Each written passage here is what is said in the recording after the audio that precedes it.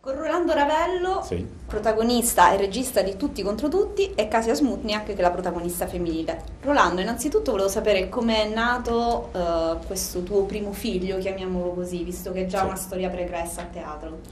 Nasce da un soggetto che Massimiliano Bruno abbiamo scritto sette anni fa, che si basa su una storia vera successa a un nostro amico, eh, perché entrò eh, una domenica dopo la comunione della figlia, nella realtà, eh, nel film invece un figlio, è tornato a casa e ha trovato la casa rubata da qualcun altro. Da lì siamo partiti e abbiamo- ci siamo chiesti che cosa sarebbe successo al nostro Agostino se non avesse avuto un posto dove tornare. Il vero Agostino è tornato in un appartamento da cui proveniva, che non era stato riaffittato.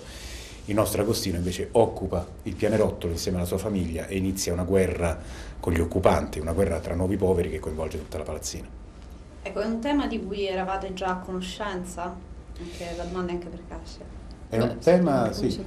Eh, allora, il, il tema dell'occupazione in sé, sì, è una cosa che conosci, poi insomma comunque era un, frequentando anche centri sociali, magari da, da ragazzino, eccetera, eh, è, un, è un mondo che conosci, no? Quello che non conoscevo, l'ho imparato anche girando un documentario all'interno di una palazzina occupata, è che le persone che in questo momento stanno occupando gli appartamenti non sono quelli che ti puoi aspettare, no? non ci trovi i tossici, i bancabestia no? Eh, nella, nell'iconografia.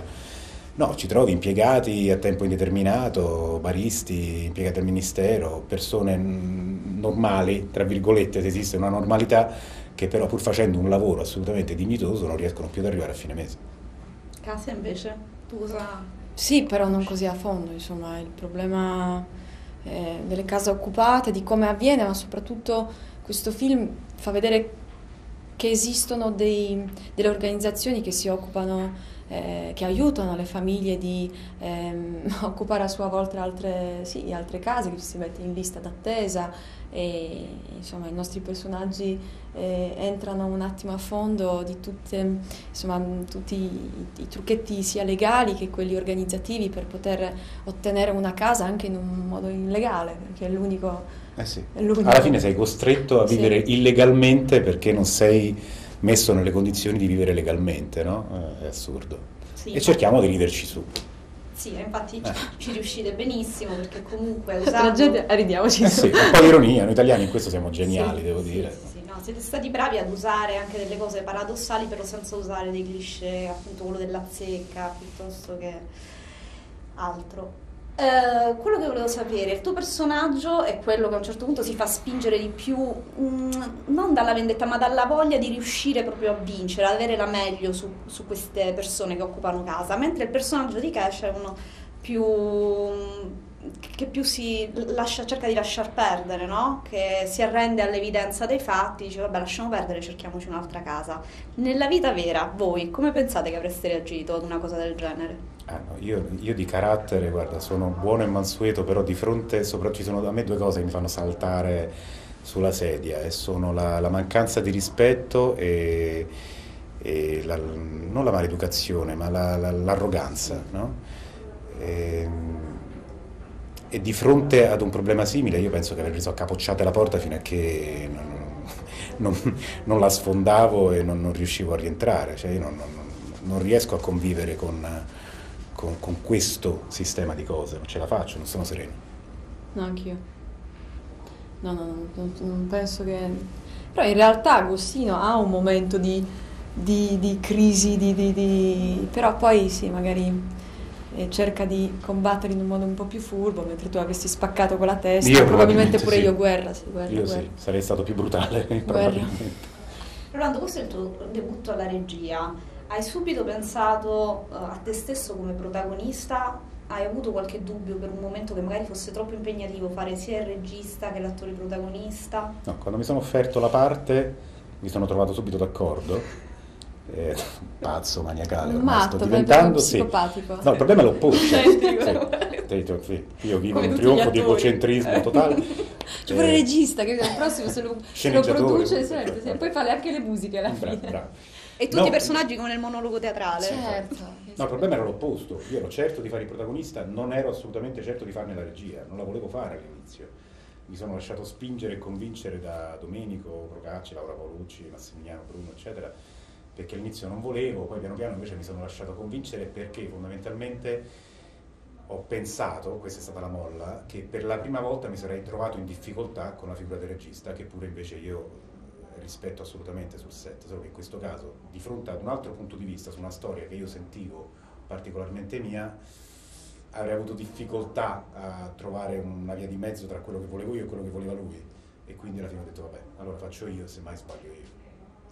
Senti, il film esce in un periodo particolare anche per, uh, perché tra poco ci saranno le elezioni. Il titolo è Tutti contro tutti. Allora, secondo te, ora, esulando comunque dalla, dalla politica, per cosa sono tutti contro tutti e per Intanto, cosa ci potremmo trovare tutti d'accordo con tutti. Il periodo è assolutamente casuale, perché qua in Italia le elezioni si fanno ogni tre mesi, quindi no? cioè, se tu fai un film è probabile che caschi. È probabile sì, che esce durante le elezioni. Eh, non è voluto. Eh, non è voluto neanche che esca il giorno in cui il Papa si dà la macchia, no? Neanche quello è voluto. Forse potevate lui, occupa- so. Però potevate pensare a occupare la Santa Sede. La Santa Sede non è detto che lo si fa.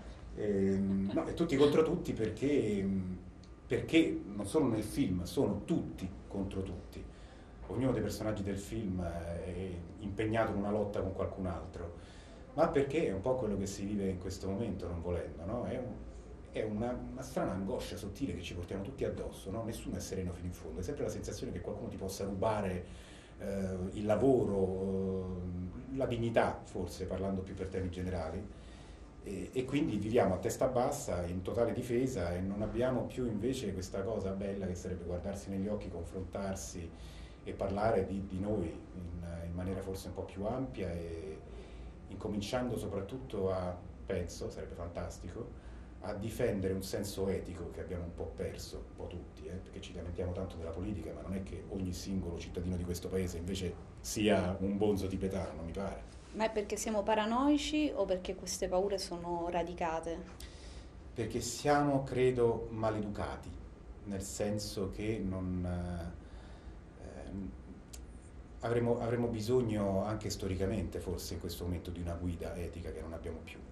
E forse tendenzialmente anche per carattere, l'italiano in genere è quello che tende alla scelta facile e non alla vita magari un po' più complicata, un po' più sostanziosa, un po' più di spessore. No?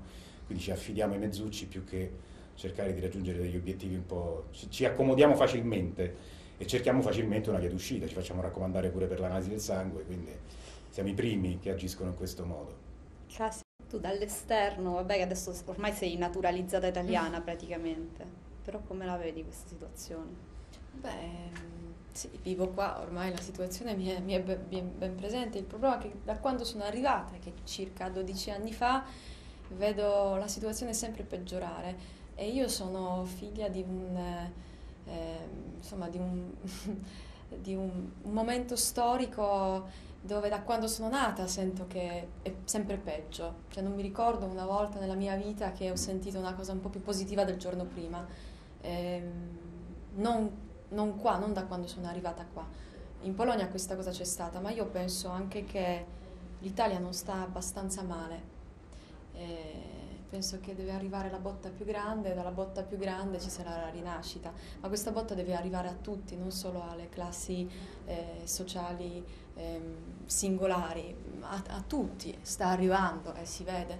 E, ehm, ma penso anche che gli italiani è, un, è un popolo di scelte facili, e, ehm, insomma anche popolo giovane. Scelte eh, di soluzioni facili? Scelte e soluzioni facili, anche scelte perché spesso eh, quello che accade, insomma, vedo che si segue una strada dove è quella più facile, ecco, appunto è anche quella, insomma, di raccomandazioni che ormai è una cosa così normale che non riesci a fare neanche nessu, niente se tu non hai raccomandazioni da nessuna parte, no? Quindi è una roba radicata proprio ormai nel non nel sistema, nelle persone. Sì, è questa abitudine a vivere di, di, di, di mezzi, no?